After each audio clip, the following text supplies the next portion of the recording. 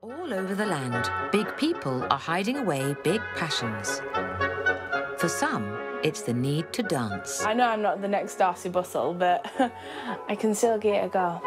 The stereotype ballet dancer is thin as a rake, no flesh in your hips, like a stick insect. But one man is about to change all that. I am here to prove that big people who are big all round deserve to be able to dance in ballet. Classical ballet dancers all have long, lithe bodies with thin limbs, right? Well, not the dancers in The Big Ballet, a new British reality series following a group of plus-size dancers through a production of Swan Lake. And here to tell us all about it is WSJ reporter Pia Catton. Pia, thank you so much for being here. Be here.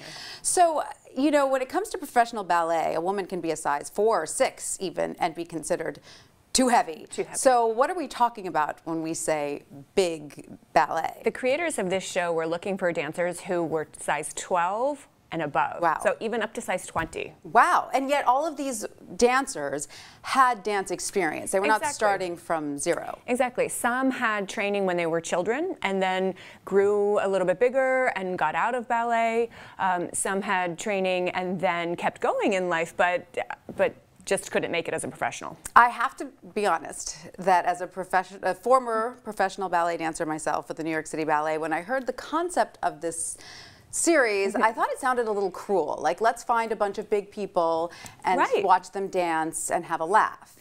And yet, that's not the purpose of Right. it, correct? The potential to be cruel is part of this, I think, and that Yeah. was, um, I think it's a it's a bit of a, a scary point. You know, you look at it and you think, I don't want these people to be laughed at, Right. and also the creators didn't want that either. Right. And they really created a Swan Lake that played to the strengths of these women. So there's Mm-hmm. a lot more arm movements, um, a lot of kind of acting. So not the most footwork in the world. I was going to say this must be a very adjusted version of Swan Lake because Swan Lake is one of the most technical ballets It is. out there, and it is challenging even for a prima ballerina at the top of her game. And so there are no 32 fouettes in this no, version. the choreographer really wanted them to be able to shine and to not be compared to professional ballet. Well, we have some footage of Royal Ballet dancer Marianela Nunez doing the famous 32 fouettes. Oh, there she is as Black Swan in the coda. That is one of the hardest things that a professional ballerina has to do. What are the kinds of things that these women were asked to do? Well, this ballet was reset within an art gallery, which is Ah. interesting for Swan Lake. So the paintings kind of became the swans. Mm-hmm. And it is a shorter version. Um, these women trained for five months. Thursday, Friday, all day Saturday, all day Sunday to get in shape for this. And some told me that they did lose weight, although that was not the point of the show. Right. The point was to show that women who enjoyed ballet but didn't feel like they could continue with the art form should be able to continue to do it. That's right. That's right. Within a certain context. I mean, Right. I, I sometimes I, I bristle when ballet gets criticized for being so um, selective of body type because Mm-hmm. I feel like the body type, your body is your instrument in ballet, and Mm-hmm. any more than I could never dance, I could never sing professional opera. There are some people that are perhaps not.